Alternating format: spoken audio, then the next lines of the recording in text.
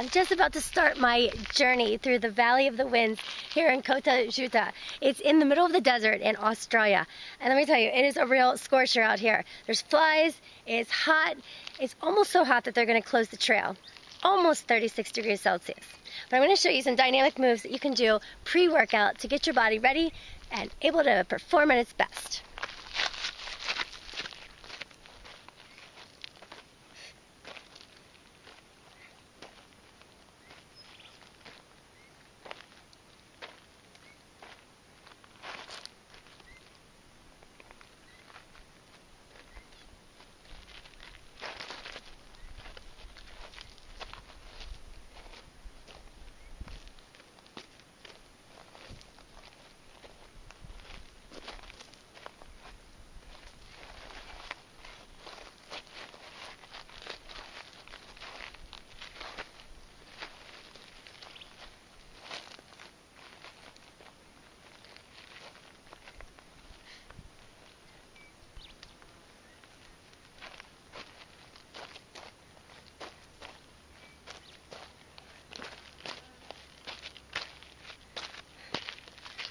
So these are some dynamic movements that you can do to warm up your body before you get moving with your exercise.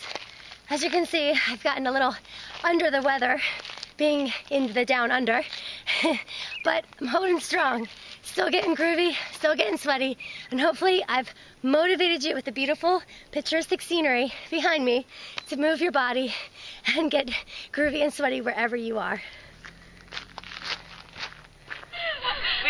We